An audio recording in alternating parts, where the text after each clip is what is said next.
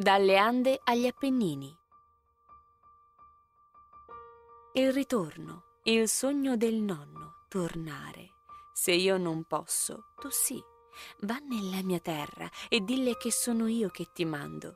Il sogno in quegli occhi persi nel cielo, perché una volta partirono e l'altra terra diede loro tutto ciò a cui anelavano, meno che il sogno di tornare, perché non lo desiderarono, perché fu così grande l'amore.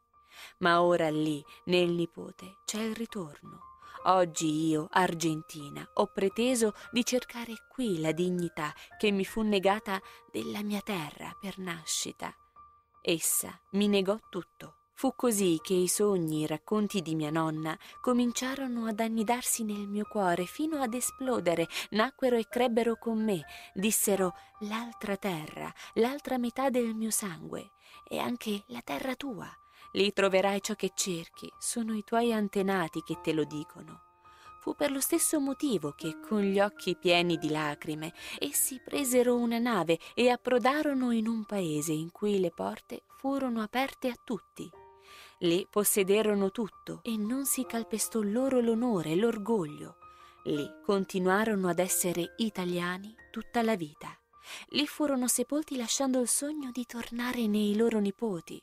Ed ora io, Marietta, di mia nonna, sono qui e trovo solo porte chiuse. La luce si è spenta, tutto è vanità.